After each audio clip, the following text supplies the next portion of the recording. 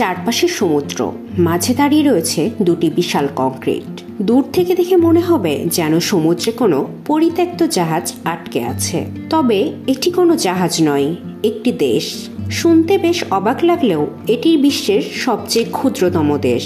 নাম principality of Sealand বা Sealand কম বেশি আমরা সবাই বিশ্বের সবচেয়ে ছোট দেশ হিসেবে ভ্যাটিকান সিটিকেই চিনি। প্রাতিষ্ঠানিকভাবে এখন পর্যন্ত ভ্যাটিকান সিটি বিশ্বের সবচেয়ে ছোট দেশ। তবে সিল্যান্ডকে বিশ্বের অন্য দেশগুলোর এখনও স্বীকৃতি না দিলেও তারা নিজেদেরকে একটি স্বয়ংসম্পূর্ণ দেশ কিংবা মাইক্রোনেশন হিসেবে দাবি করে। শুধু তাই নয়, তাদের দাবি অনুসারে এটি বিশ্বের সবচেয়ে ছোট দেশ। কারণ সংজ্ঞামতে একটি স্বাধীন রাষ্ট্রের যা যা থাকা দরকার, তার সবই আছে এই সিল্যান্ডের। প্রিন্সিপ্যালিটি অফ সিল্যান্ড ব্রিটিশ সমুদ্র উপকূল থেকে প্রায় দশ কিলোমিটার দূরে অবস্থিত। এই মাইক্রোনেশনের মোট আয়তন পাঁচশো পঞ্চাশ বর্গমিটার। ইংল্যান্ডের উত্তর সাগরে এর অবস্থান।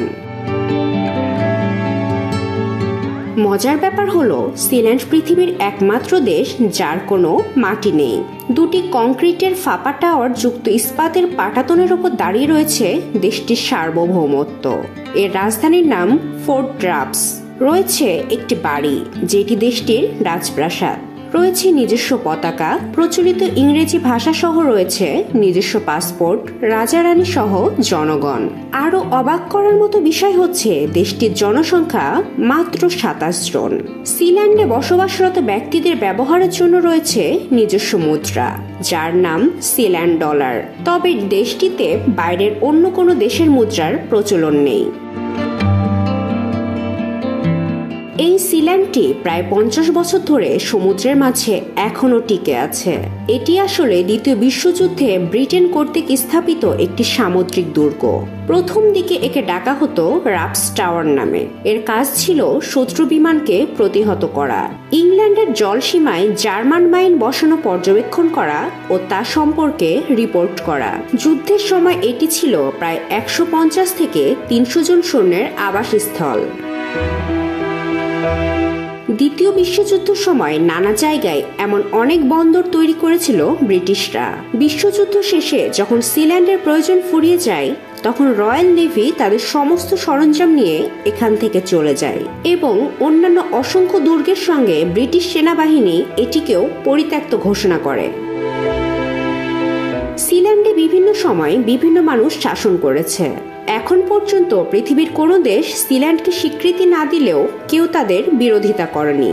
তাই মাইক্রোনেশন হিসেবে বিশ্বজুড়ে পরিচিত এই প্রিন্সিপ্যালিটি অব সিল্যান্ড দেশটির নানা সময়ে নানা ছবি সোশ্যাল মিডিয়ার মাধ্যমে সামনে এসেছে। সিল্যান্ডে নিজস্ব রেডিও স্টেশনও রয়েছে। অনেকে ঘুরতেও যান সেখানে।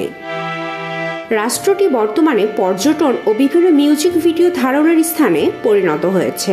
গোটা সিল্যান্ডে রয়েছে একটি মাত্র ভবন ও একটি হেলিপ্যাড। সিল্যান্ডের বর্তমান কর্তৃপক্ষের দাবি অনুসারে সাতাশ জন মানুষ এখানে বাস করেন। তবে প্রকৃতপক্ষে এখানে মাত্র চারজন স্থায়ীভাবে বসবাস করেন। সিল্যান্ডের নিজস্ব একটি ওয়েবসাইটও রয়েছে। সেখানে সিল্যান্ডের নানা স্মারক, ডাক টিকিট, মুদ্রা ইত্যাদি কিনতে পাওয়া যায়। সেই সাথে সিল্যান্ডের পাসপোর্ট করে চাইলে ঘুরেও আসতে পারবেন দেশটি থেকে।